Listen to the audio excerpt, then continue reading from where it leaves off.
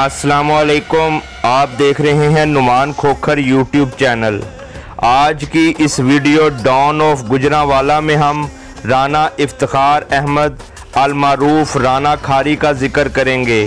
इनकी दुश्मनी चार ग्रुपों से थी और इन पर कत्ल, इकदाम कत्ल, लड़ाई झगड़े वगैरह के 45 से जायद मुकदमा दर्ज थे, जिनमें 11 कत्ल के थे। इनके ताल्लुकात और असर रसूख हाई लेवल तक है, जिनमें सियासी, समाजी और हर मकतबा फ़िक्र के लोग शामिल हैं। इनके बेटे राना नासिर इफ्तार, चेयरमैनी का इलेक्शन लड़ते हैं। आज की इस वीडियो में हम राना इफ्तार खारी के बारे में जानेंगे। मेरे चैनल लुमान खोखर की प्लेलिस्ट में don of world don of Asia don of Pakistan don of Punjab don of Sindh don of K P K don of Lahore don of Gujranwala और डिफरेंट सिटी डॉन्स के अलग अलग folders हैं, जिनमें सौ के करीब मुख्तलि मशहूर डॉन्स की लाइफ स्टोरीज़ हैं। किसी भी दोस्त को किसी भी शहर या गाँव के मशहूर डॉन के बारे में मुकम्मल और दुरुस्त मालूम हों तो वो अपना व्हाट्सएप नंबर कमेंट में शेयर कर दें, मैं उनसे रबता कर लूँगा। वीडियो शुरू करने से पहले अगर आपने मेरा channel Numan Khokhar subscribe, like और शेयर नहीं किया तो इसे सब्सक्राइब कर लें और बेल का बटन दबा दें ताकि आपको नई आने वाली वीडियोस मिलती रहें। तो आइए वीडियो शुरू करते हैं। राना इफ्तार अहमद खारी, अलमारूफ राना खारी, रख किकरा वाली जंगी तहसीलों ज़िला गुजरावाला के रहने वाले हैं। राना इफ्तार अहमद खारी अलमरूफ राना खारी के तीन बेटे हैं, जिनके नाम राना नासिर इफ्तार राना अजीम इफ्तार और राना हसन इफ्तार हैं। ज़मींदार और कारोबारी घराना है। राना खारी के एक भाई बैरून मुल्क होते हैं, जो कि मशहूर बिजनेसमैन हैं। इस इलाके में दो बड़ी बरदरियाँ हैं, राजपूत बरदरी और दूसरी महर बरदरी। इनकी आपस में मुखालफतें चलती रहती थीं। राना खारी के अबाव अजदाद शुरू से ही अपने इलाके के चौधरी थे। फिर सन उन्नीस में चुदराहट राना खारी को मिली। फिर सन उन्नीस में इलेक्शन हुआ, जहाँ से इनकी मुखालफतें बढ़ीं, जो शिद्दत इख्तियार करती चली गईं। मुखालफी ने इनके घर तोड़ फोड़ की, ये घर मौजूद नहीं थे। जहाँ से राना खारी ने अपनी शराफत से हटकर अपने मुखालफन को सबक सिखाने का फ़ैसला किया और 25 के करीब घरों में जाकर अपने मुखालफी पर तशद किया। तब पहली दफ़ा इलाके वालों को एहसास हुआ कि राना खारी अब मैदान में आ गया है और इनकी खुलकर मुखालफतें सामने आ गईं। तब गाँव की सारी राजपूत बरदरी राना इफ्तार खारी के ख़िलाफ़ इकट्ठे हो गए और महर बरदरी ने राना खारी को सपोर्ट करना शुरू कर दिया। इस वाक़े से पहले राना खारी शरीफाना ज़िंदगी गुजार रहे थे। फिर इस वाक़े के बाद इनकी मज़ीद लड़ाइयाँ होती रहीं, मगर अब तक बात कत्लों तक नहीं पहुँची थी। वक्त गुजरता रहा। सन 2001 में इनका एक शख्स के साथ ज़मीन का तनाज़ा हुआ, जो चार एकड़ थी। इनका केस अदालत में चल रहा था, मगर वो शख्स इनको तंग कर रहा था। हालाँकि वो ज़मीन राना खारी की ही थी। जब उस शख्स का तंग करना मज़ीद बढ़ गया तो राना खारी के एक गनमैन ने उस शख्स को अगवा कर लिया और एक वीरान जगह पर ले गया और उस शख्स को समझाता रहा कि वो ऐसा ना करे। उस शख्स की गनमैन से तल कलामी हो गई, जिस पर गनमैन ने उस शख्स की गर्दन काट दी और गर्दन अपने साथ ले गया, जबकि बाकी लाश वहाँ पर ही रहने दी। पर्चा दर्ज हुआ, जो कि राना खारी के खिलाफ था। राना खारी गिरफ़्तार हुए, मगर सर बरामद ना हुआ, जिसकी वजह से राना खारी डेढ़ साल बाद जेल से रिहा हो गए। इस वाक़े के बाद पूरे इलाके में राना खारी का नाम, खौफ और दहशत की अलामत बन गया। सन 2006 में इलाके में एक झगड़ा हुआ, जो कोई और ग्रुपों के माबैन था। झगड़े के दौरान फायरिंग हुई, जिसमें एक शख्स गर्दन में गोली लगने से जख्मी हो गया। जख्मी लड़के के वालिद ने इसका पर्चा राना खारी पर दर्ज करवा दिया। राना खारी ने उनसे कहा कि मैं इस केस में इन्वॉल्व नहीं हूँ। लिहाजा जिसने फायर किया है, उसका नाम इस पर्चे में दें। मगर लड़के के वालिद नहीं माने, जिससे राना खारी को जेल भेज दिया गया। अगले ही दिन राना खारी के गनमैनों ने लड़के के वालद की टांगों पर ब्रस्ट मार दिए, जिससे उनकी टांगें काटना पड़ी और इस वाक़े का पर्चा भी दर्ज उन्होंने नहीं करवाया। और राना खारी से सुलह कर ली। सन 2009 में राना खारी के छोटे बेटे राना हसन इफ्तार का अपने ही गाँव के एक लड़के से झगड़ा हुआ, जिस पर राना खारी के गार्ड ने उस लड़के को फायरिंग करके कत्ल कर दिया। इस तरह राना हसन इफ्तार 16 साल की उम्र में पहली दफ़ा जेल गए। इनको सज़ा सुनाई गई लेकिन एक साल बाद हाई कोर्ट से ज़मानत पर बाहर आ गए। राना खारी की वजह से मदइयों ने इनसे सुलह कर ली और केस ख़त्म हो गया। सन 2011 में राना खारी के गाँव में एक पुलिस मुकाबला हुआ, जो कि राना खारी के मुखालिफ से पुलिस का था। पुलिस ने राना खारी से हेल्प मांगी और राना खारी अपने गार्ड्स के हमरा पुलिस की मदद के लिए वहाँ पहुँच गए। मुखालिफ ने जब राना खारी को देखा तो उनको ब्रस्ट मारा। मगर वो बर वक्त किसी ओट में हो गए और गोलियाँ उनको नहीं लगीं। फायरिंग का तबादला होता रहा। राना खारी का मुखालिफ छत पर से पुलिस राना खारी और इनके गार्ड्स पर फायरिंग कर रहा था। राना खारी का गार्ड छुपता छुपाता पीछे से छत पर चढ़ने में कामयाब हो गया। और फायरिंग करके उसको कत्ल कर दिया। इस कत्ल के बाद पुलिस इस पुलिस मुकाबले से मुनहरिफ हो गई और उन्होंने मौक़ इख्तियार किया कि पहले ही इनमें फायरिंग हो रही थी, हम बाद में आए हैं। लिहाजा ये बंदा राना खारी ने मारा है। राना खारी पर पर्चा हुआ और वो जेल चले गए। केस अदालत में चला, वहाँ सबूत पेश किए गए जो पुलिस के खिलाफ थे। जिसकी बिना पर राना खारी की ज़मानत हो गई। सन 2013 में राना खारी ने अपने इलाके से नजायज़ फरोशी ख़त्म करने का आज़म किया और इस पर काम करते रहे। सन 2014 में एक शख्स उनके पास शिकायत लेकर आया कि एक शख्स उनकी बेटी को तंग करता है। तो राना खारी ने पूछा कि आप क्या चाहते हैं? तो उस शख्स ने कहा कि मैं चाहता हूँ कि जिसने मेरी बेटी को छेड़ा है, उसके हाथ तोड़ दिए जाएँ। राना खारी ने इन्वेस्टिगेशन करवाई तो पता चला कि वो शख्स नशा भी फ़रोख्त करता है और लोगों की इज्जतें भी इससे महफूज नहीं। राना खारी के गन मैन उस पर तशद करने गए, मगर उस शख्स ने आगे से फायरिंग कर दी।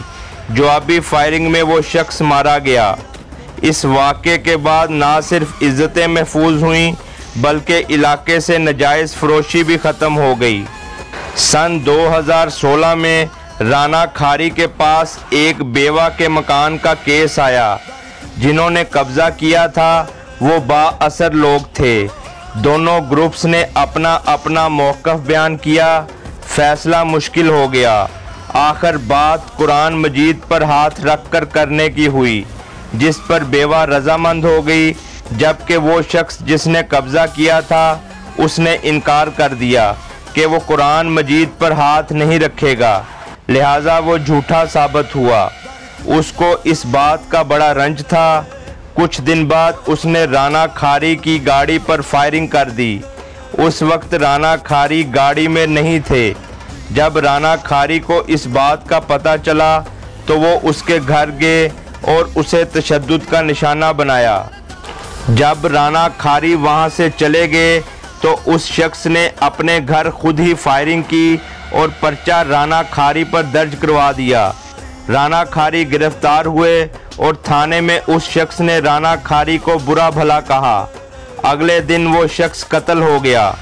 उसके घर वालों ने जीटी रोड ब्लॉक कर दी, जो पाँच घंटे ब्लॉक रही। उन्होंने कहा कि राना खारी ने उस शख्स को कत्ल करवाया है, जबकि राना खारी जेल में थे। उनके बेटों पर पर्चा हुआ, मगर वो भी उस वक्त दूसरे शहर यूनिवर्सिटी में थे, जबकि एक मुल्क से बाहर थे, जिसकी वजह से केस रफा दफ़ा हो गया। 2013 के इलेक्शन कम्पेन में राना खारी के इलाके के हलके में नून लीग के एमपीए ने राना खारी से कहा कि हमें वोट दें। राना खारी ने कहा कि हम पीटीआई ज्वाइन कर चुके हैं। इन दोनों की फ़ोन पर बात हो रही थी, जिससे दोनों में किसी बात पर तल कलामी हो गई। उन एमपीए का कुछ दिन बाद इनके इलाके में जलसा था। राना खारी ने पूरे इलाके में इलानात करा दिए कि कोई शख्स जलसे में शिरकत नहीं करेगा, और जो जलसे में शिरकत करेगा वो राना इफ्तार अहमद का मुखालिफ होगा। और वैसा ही हुआ। सवाए इंतज़ामिया के जलसे में उनके इलाके के लोगों ने शिरकत नहीं की। राना खारी पर पाँच दफ़ा कातलाना हमले हुए, जिनमें दो दफ़ा वो गोलियाँ लगने से ज़ख्मी हुए थे, जबकि तीन दफ़ा वो महफूज रहे। सन 2016 में एक कातलाना हमले में उनको गोलियाँ लगीं। ये हमला उनके घर के पास ही हुआ था, जिसमें 10 से 15 मुसल्ह अफराद ने उनकी गाड़ी पर फायरिंग कर दी। उस वक्त उनकी गाड़ी में चार अफराद सवार थे, दो गार्ड्स, एक दोस्त जो गाड़ी ड्राइव कर रहे थे और ये खुद थे। 300 से जायद राउंड फायर किए गए। इस कातलाना हमले में गाड़ी में सवार तमाम अफराद को गोलियाँ लगीं। इस फायरिंग में राना खारी का एक गार्ड उनको गोलियों से बचाने की खातिर राना खारी पर लेट गया था, जबकि राना खारी को भी गोलियाँ लगी थीं। राना खारी ने अपने गार्ड से कहा कि जवाबी फायरिंग जारी रखें, जबकि इनकी गाड़ी एक करीबी नाले में गिर गई थी। राना खारी ने अपने बेटों को फ़ोन किया, जो फ़ौरन असलहा लेकर पहुँच गए। जबकि पुलिस भी मौके पर पहुँच चुकी थी। जवाबी फायरिंग से हमला आवर मौके से फरार हो गए। ज़ख्मियों को हस्पताल पहुँचाया गया। इस कातलाना हमले में चार लोग कत्ल हुए, जिनमें दो राहगीर भी शामिल थे, जबकि राना इफ्तार और एक गार्ड बच गए। जबकि गार्ड को पूरी बाजू में ब्रश लगा था, जिससे उसकी बाजू नकारा हो गई। मगर इफ्तार खारी ने उन्हें इलाज के लिए बैरून मुल्क भिजवाया, जहाँ उनका इलाज हुआ और वो सेहत याब हो गए। दूसरा कातलाना हमला उन पर सन 2017 में गुजरावाला कचहरी के बाहर हुआ, जिसमें उनको दिल के एक इंच ऊपर गोली लगी। ये हमला कॉलेज के स्टूडेंट्स के रूप में हमला आवरों ने किया था। इस हमले में भी राना खारी जख्मी हुए मगर बच गए थे। राना खारी अपने मुहाफ़ों अपने साथ चलने वालों का बहुत ख्याल रखते हैं। यही वजह थी कि उनके गार्ड्स उनके लिए हर तरह का कदम उठाने के लिए तैयार रहते हैं। इसके अलावा इलाके में जिसको भी इनकी मदद की ज़रूरत होती थी, वो उनकी मदद करते थे। उस इलाके के दो गवर्नमेंट स्कूलों की इमारतें राना खारी ने खुद बनवाई थीं।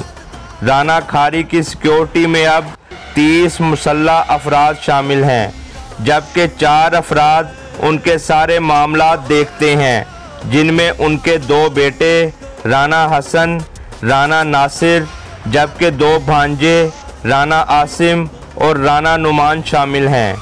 अब उनकी अपने इलाके में तीन ग्रुपों से सुलह हो चुकी है और एक ग्रुप इलाका छोड़कर जा चुका है।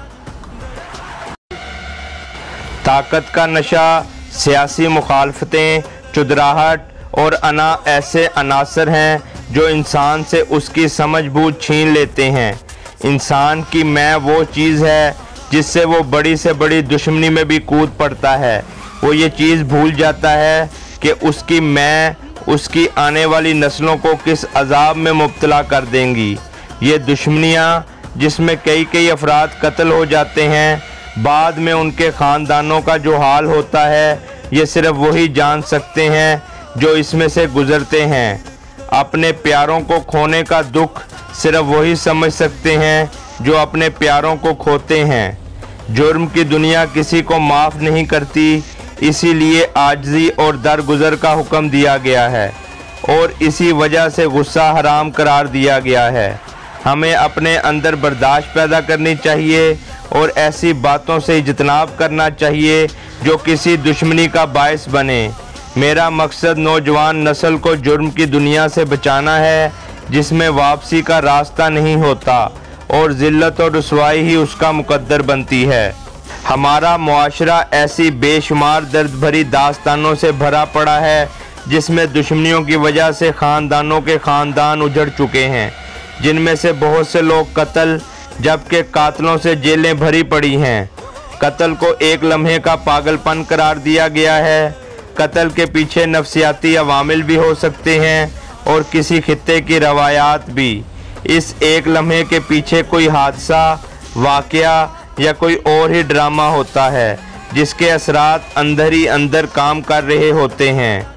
ज़िंदगी एक बार मिलती है लिहाजा अच्छी और शराफत भरी ज़िंदगी गुजारनी चाहिए और दूसरों के काम आने की कोशिश करनी चाहिए। मेरी तमाम वालदेन से गुजारिश है कि अपने बच्चों की तालीम तरबियत पर ख़ास तवज्जो दें और उन पर कड़ी निगाह रखें ताकि वो अच्छे और शरीफ इंसान बन सकें और मुल्क पाकिस्तान की तमीर व तरक्की में अपना अहम करदार अदा कर सकें। उम्मीद करता हूँ आपको वीडियो अच्छी लगी होगी।